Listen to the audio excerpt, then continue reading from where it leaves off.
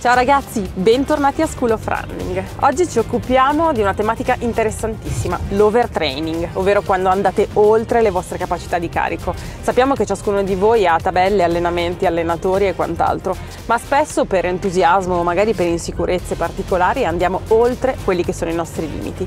Oggi riusciremo a capire quali sono i segnali che ci devono far rizzare le antenne e quali sono gli strumenti che abbiamo a disposizione facilmente per poter risolvere questa situazione.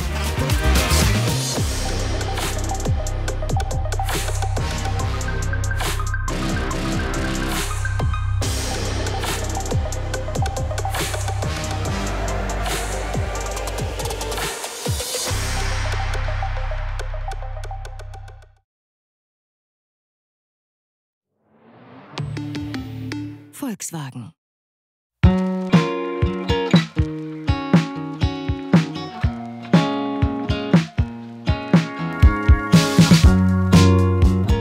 Quando parliamo di overtraining o sovrallenamento ci riferiamo a quel particolare stato durante il quale la capacità del nostro corpo di adattarsi allo stimolo allenante o di recuperare nei tempi consoni viene un po' meno. Così ci troviamo magari ad accusare dei dolori muscolari per molti giorni o magari vediamo che abbiamo uno stato sempre di continua fatica, di difficoltà a recuperare, di difficoltà anche a prendere sonno a volte. Ecco, questi sono tutti dei piccoli segnali che concorrono occorrono e che si manifestano nel momento in cui siamo in overtraining. Andiamo però a vedere nel dettaglio quali sono questi segnali, come si manifestano espressamente e a cosa porre particolare attenzione. Seguitemi.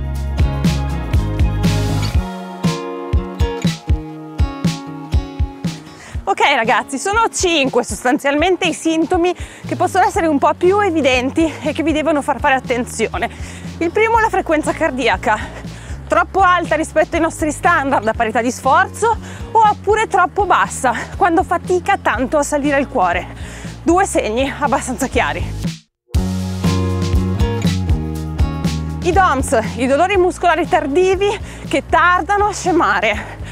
Un dolore muscolare che si protrae troppo a lungo nel tempo, a parità di uno sforzo che magari non giustifica quell'intensità e quella durata di dolore è il segno evidente dell'incapacità del nostro corpo e dei nostri muscoli in questo caso di recuperare efficacemente. Terzo, scarsa performance. Siamo abituati a fare ripetute sui 1000 in 3.30 e improvvisamente lo stesso tipo di allenamento, stessa quantità di volumi, stessi recuperi, non riusciamo a tenere i ritmi e lo sforzo sembra eccessivo rispetto alla performance che ci viene richiesta. Quarto sintomo, irritabilità. Si dice che l'intestino possa essere un po' il nostro secondo cervello. Un'irritabilità intestinale ma anche umorale dovrebbe mettervi un po' in allerta. Se insomma saltate per niente o se mangiando qualunque tipo di cosa avete dei problemi a livello digestivo e intestinale, ecco questo potrebbe essere un bel campanello d'allarme. Quinto segno, fate attenzione alla vostra respirazione. Se vi rendete conto che fate fatica a spezzare il fiato in allenamento o che il diaframma non riesce ad abbassarsi completamente e la vostra respirazione non è fluida, ecco qualcosa probabilmente potrebbe non andare. O siete molto nervosi e molto tesi, oppure potreste essere in uno di quei famosi momenti di sovraccarico e sovrallenamento di cui vi stiamo parlando.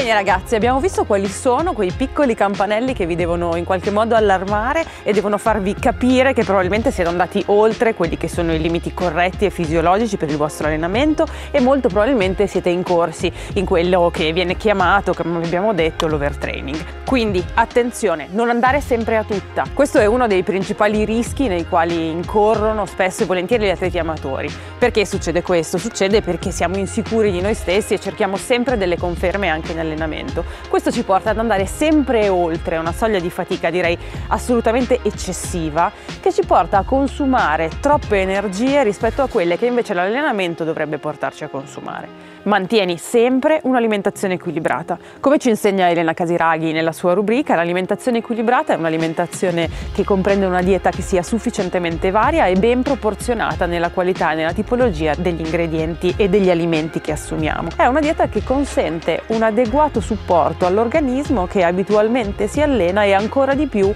quando siamo in un momento di overtraining in cui il nostro organismo ha un fabbisogno ancora aumentato di proteine magre, di grassi buoni e tutti quegli alimenti che sicuramente non mancheranno nelle vostre diete. Molto importante però nel momento in cui sentiamo la necessità di un boost energetico, quindi quando siamo in difficoltà metabolica, è riuscire ad integrare quell'alimentazione tradizionale con dei prodotti che sono strutturati e formulati proprio per soddisfare questo tipo di esigenze. Uno di questi è il magnesio. Il magnesio è un mio rilassante, se si assume la sera soprattutto, vi aiuterà a dormire molto meglio e quindi favorire il sonno e favorire il recupero metabolico, farà rilassare tutti quanti i vostri muscoli e vi porterà a essere anche più freschi e più performanti la mattina seguente. Gli omega 3, gli omega 3 sono ormai sdoganati nella loro efficacia antinfiammatoria a livello metabolico su tutto l'organismo. L'assunzione di omega 3 è consigliata giornalmente, quindi eh, dovrebbe essere un'assunzione formazione continuativa a prescindere da, da stati carenziali particolari oppure da questi periodi di overtraining. Poi betalanina, carnitina, amminoacidi ramificati sono tutte quante sostanze che ci aiutano nel recupero muscolare e anche dei composti a base di elettroliti in soluzione che siano di supporto alla funzione contrattile dei nostri muscoli e ci consentano anche una corretta idratazione e un corretto recupero.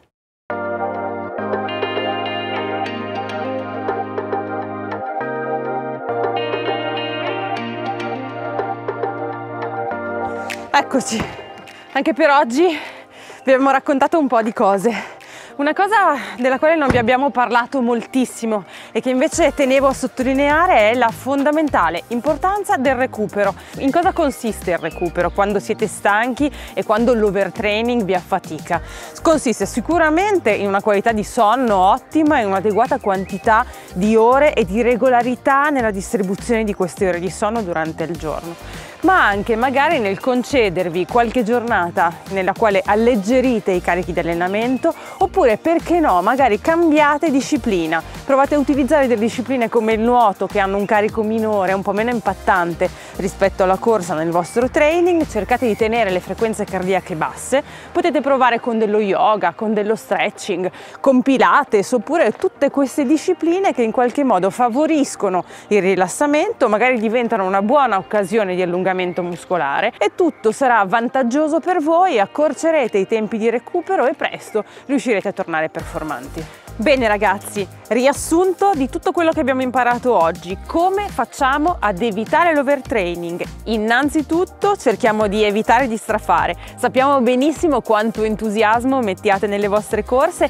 e quanta passione vi stia crescendo e montando continuamente, però la misura è il segreto per ogni cosa. Abbiamo detto corretta alimentazione, seguite tutti i consigli di Elena, andate a vedervi le sue rubriche, sono dettagliatissime e molto preziose l'alimentazione deve essere sana, equilibrata e potete ricorrere alla supplementazione nel momento in cui i carichi di lavoro lo necessitino o lo richiedano oppure il vostro stato organico ne richieda il bisogno. Sonno, ne abbiamo appena parlato, riposatevi adeguatamente, adeguatamente sia in termini qualitativi che quantitativi, vuol dire dormire bene ma vuol dire anche ridurre i carichi di allenamento quando questo è necessario. Questi sono i tre segreti, niente di più. Continuate ad allenarvi con tutto l'entusiasmo che vi è proprio proprio e che percepiamo da tutti i vostri commenti e continuate a seguirci perché abbiamo un sacco di cose da insegnarvi e da dirvi.